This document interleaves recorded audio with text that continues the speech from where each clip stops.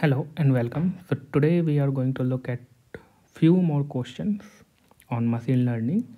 So today we will look mainly on few questions from the decision tree and apart from this I have already solved few of the uh, other few questions from the other topics that you can look that descript uh, in in the description you will find the link for that particular section where I am solving these uh, questions that are related to machine learning.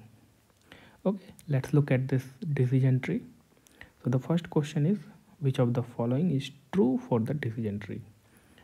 The option A is a decision tree is an example of linear classifier.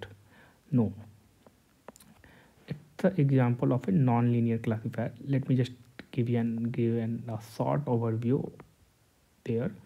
Let's suppose we have some data that is non-linearly separable. That is not linearly separable. So you cannot separate this data using a line or a linear thing. So and let's call this feature f1 and this f2 and let's assume that this is a 0 for f1 and here is 0 for f1 and here maybe minus 1 minus 2 and for f2 this one is minus 1 and minus 2 and this is positive that is 1 2 so how we use we can separate this kind of data using decision tree right? We can draw the boundary like this. So you can split on f1 right? If f1 is greater than 0 and second split would be if f1 is less than equals to 0 right? So this is the boundary you will get right? But still it is not completely separable. Now what we can do is uh, again we can split this on f2 so when f2 is greater than 0 and when f2 is less than 0 here when f2 is greater than 0 and f2 is less than 0 right? So here we will have our separable data. So this this one is f1 greater than 0 f2 greater than 0 so so we have separated like this right? So this section where f1 is greater than 0 not but not this section but this one. F1 is greater than 0 and f2 is also greater than 0 so that will be here. And this f1 is greater than 0 and f2 is less than 0 right? So that is this one and this one f1 is less than 0 and f2 is less than 0 so f1 is less than 0 and f2 is less than 0 so this one. And here we will have f1 is less than 0 and f2 is greater than 0 so this one. So you see that using decision tree we have classified this non-linearly separable data. Right so i think i should not explain this much otherwise we will be stuck with only one question. Okay so i am assuming that you know all these things. So a decision tree is an example of linear classifier no? The entropy of a node typically decreases as we go down the decision tree. This is also yes this is true why? You see uh, you are here at this node right? And you have made every classification right? So there is no mistakes or there is no misclassification here. Everything is pure. Every data is pure. And this entropy is a measure of impurity right?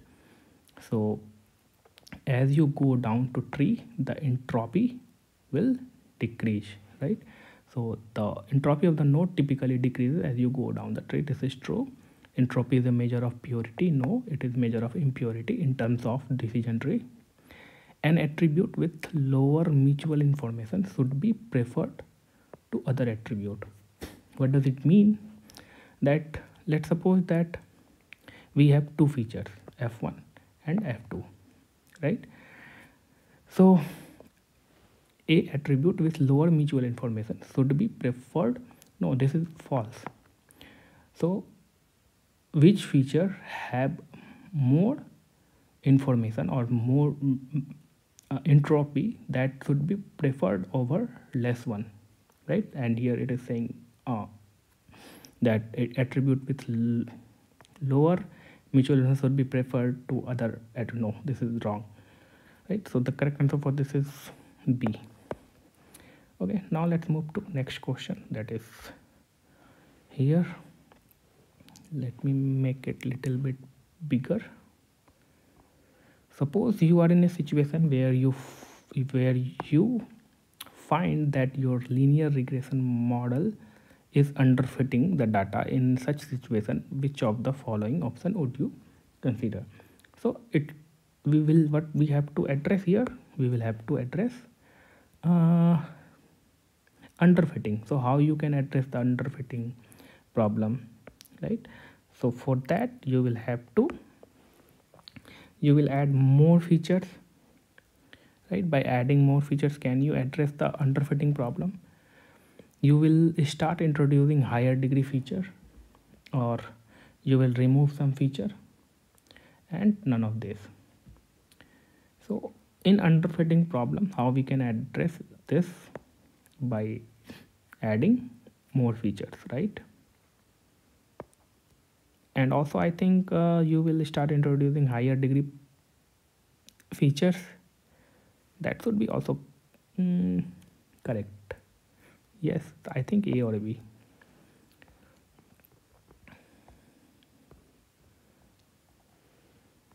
Okay now let's move to this question. So consider uh, we have data set s below. Elevation road type. And speed limit speed limits are features and the, so so these are the features right? And we have speed is the target label right? So speed is here the target label that we want to predict. So given the feature we want to predict the speed right find the entropy of the data s as given above. So to find the entropy of the data you will look at the uh, target label the target label is your speed. So find the entropy of this. So you see each here we have two slow and two fast right? So that is equally probable right? So we can say it will have more information and it will have the entropy that is 1 and how we can find this? Using formula. So entropy is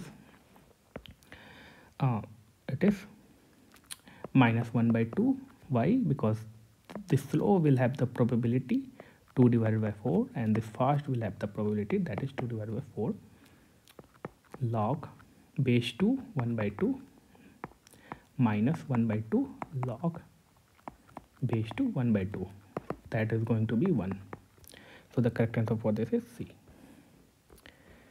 Okay. Now let's look at this question. Find the information gain. Okay so this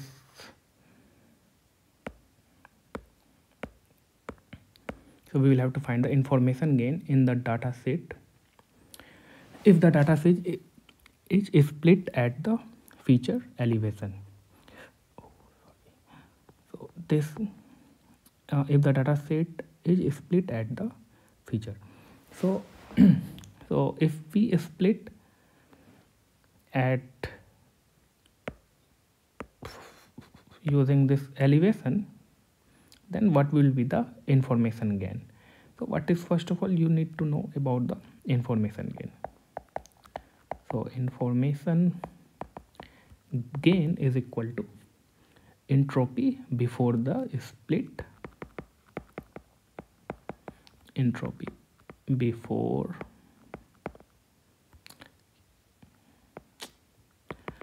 before the split minus expected entropy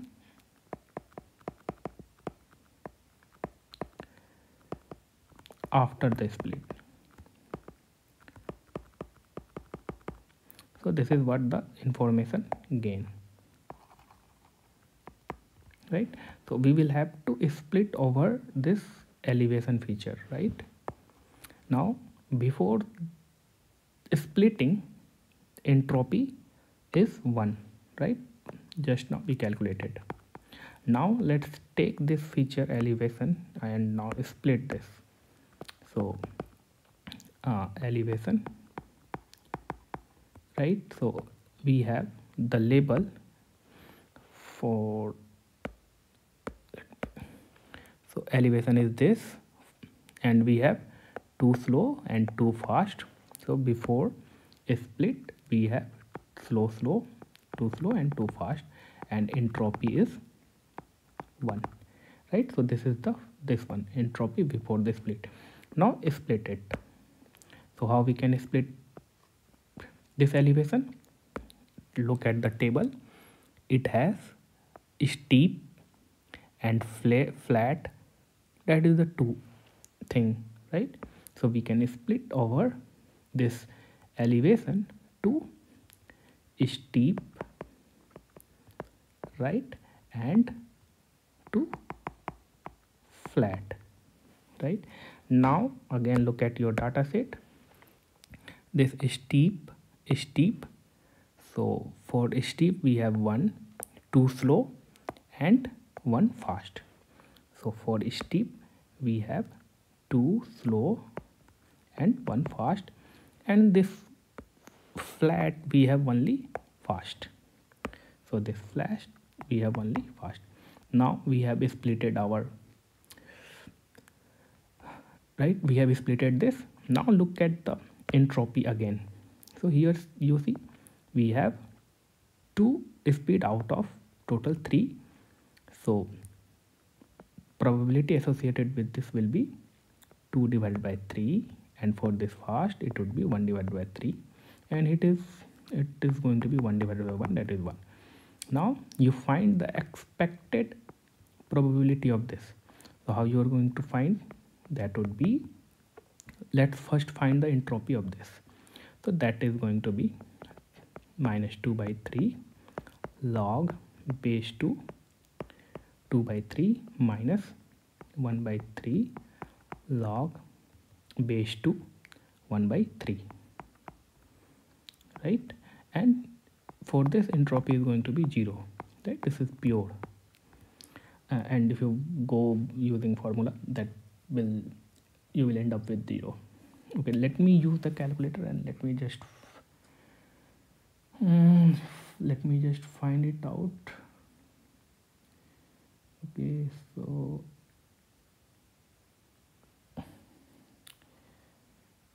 I should have done done this but let me let me just do it quickly. So we have 2 by 3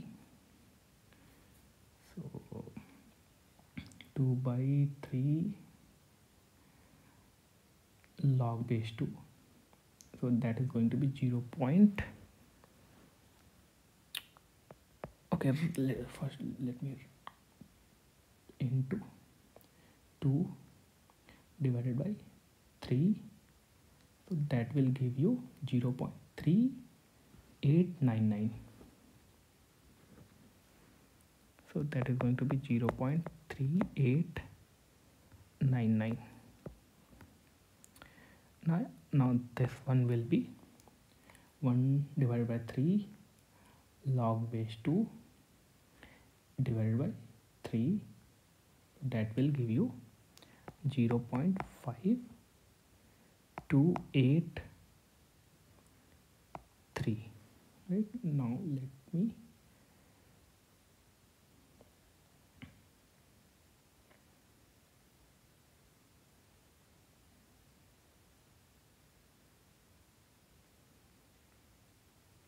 so that you will get 0 0.9 9182 right? But we have to find the expected entropy. So the expected entropy would be oh so how many are there? Three out of four into this entropy that is 0 0.9182 plus we have 1 out of 4 entropy of this is 0 so that is going to be uh, this into 3 divided by 4 0 0.688 so 0 0.688 okay. I think approximately this one option c. So i hope i haven't made any mistake. So this is the correct answer for this. Okay now let's jump to next question. Okay so now next question is find the feature on which the parent node must be chosen to split the data set. So we have three features right with this we have three features. Elevation road and speed limit. Now question is asking that we can make root node root node any of out of any three features right? Now question is asking that which one we should select to split right? So this is what find the feature on which parent node so the root node must be chosen to split the data set. So again what you will do you will find the information gain of this elevation information gain of this road and information gain of this speed limit and which have the maximum information gain you will select that feature and split over it right? So we have find the information gain of this elevation in the question number 5 that is 0 0.675 right? And now uh, now if we if we find the information gain so you see that uh, for so before the split it was 1 now after the split we have to find the expected entropy right? But you see that this uneven we will split into uneven and uneven. That is one is and smooth and smooth right? And that is going to be okay let me do it for one. Just a road type right? And we can split it to uneven. So similar thing we are doing it right? And with smooth right? And before the before splitting it was too slow and fast and entropy with 1 now with uneven we have slow and fast so slow and one fast and one slow. And with a smooth we have one slow and one fast. So one slow and one fast. So now if we find the entropy here that will be so both are equi uh, probable right? So here entropy will be 1 and here also entropy would be 1 now we find the expected entropy. That would be uh, 1 into 2 divided by 4 that is going to be 1 by 2 plus 1 into 2 divided by 4 that is going to be 1 by 2 so that will be 1 you see the information gain would be i that is 1 minus 1 that is going to be 0 right? So okay so here we okay in question number 5 we have to find the information gain right? So that will be that will be 1 minus 0 0.688 right? Before the split the entropy was 1 and so let me do it. So that will be 0 0.311 so the correct answer for this 5 is d option. Right? And he, here we find for the road type information is 0 information gain is 0 similarly you can find for the speed limit and also for yes there is two slow and for no there is two fast. So, you see that speed limit right? Speed limit. Before split it was 1 now you can yes and no. And in yes we have two slow and in no we have two fast. So this entropy is going to be 0 here this entropy so expected entropy will be 0 now expected entropy would be 0 we have yes and no. We can split. So that would be 1 so 0 yes so information again would be 1 minus 0 that is 1 okay so I'm doing a mistake I think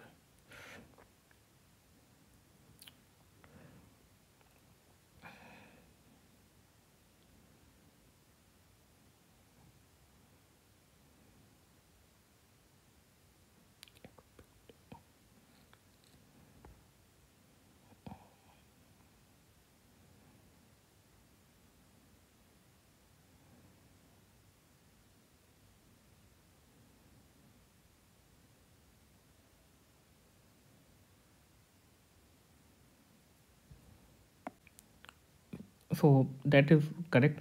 Uh, we have done the correct calculation. And you see the information gain in case of uh, speed limit is 1 and information gain in case of road type is 0 and information gain in in case of elevation is 0 0.3 right?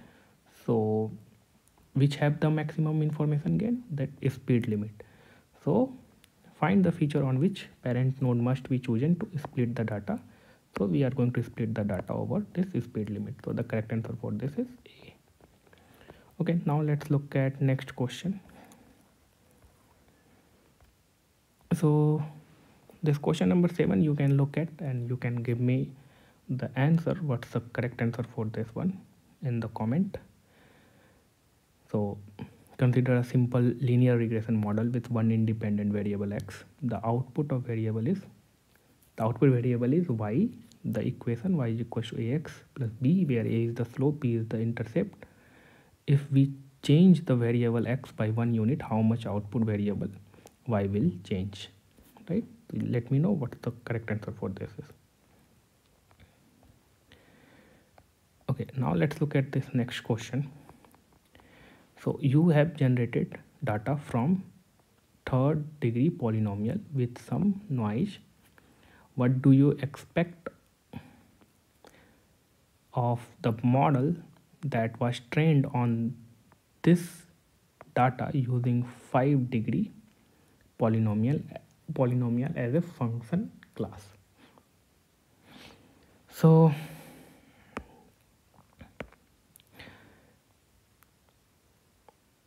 we have generated the data from the 3 degree polynomial with some noise. What do you expect of the model that that was trained on this data using 5 degree polynomial as a function class? So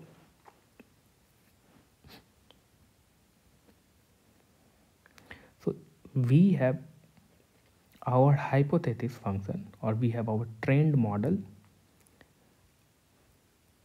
right? And with this 5 degree polynomial right? And what we are saying that we have generated data of 3 degree polynomial right? So so with this model and with this this data that has generated from the 3 degree polynomial will have because this 5 degree polynomial have already looked right? So so looked at this third degree polynomial right? Because this 5 degree polynomial is higher than this third degree polynomial and we are generating the data from this third degree polynomial. That means that means uh, data will get satisfied with this uh, hypothesis that that that has been trained by the 5 degree polynomial right? So it will have the low bias right? And and the high variance right? So the correct answer for this is a.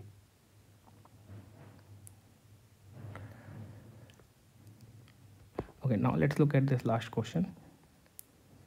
So that is question number 10 pruning is a technique that reduce the size of decision tree by removing section of the tree that provides little power to classify instances.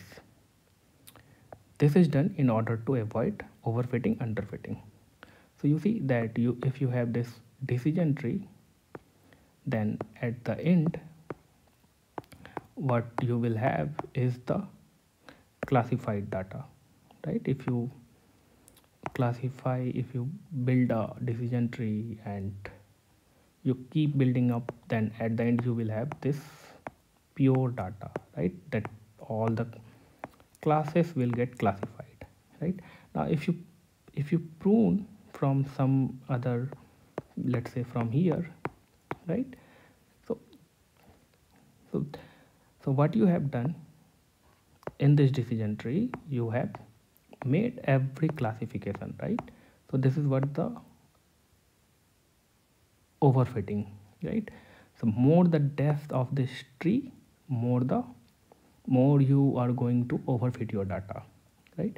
And pruning is like cutting a tree from somewhere right? And it it avoids the overfitting problem right? So you will do the pruning of the tree to avoid the overfitting problem right and for this question uh, i haven't explained that but this low the correct answer for this is low bias and high variance. Because you see that this data is getting generated from the third degree polynomial right? And you have your hypothesis function with the five degree polynomial. Then obviously that is going to be like for every data will get fit with this five degree polynomial right that means that will have the high bias and uh, with the uh, that will have the low bias with the high variance. Uh, okay i think that is all about this. Yes thank you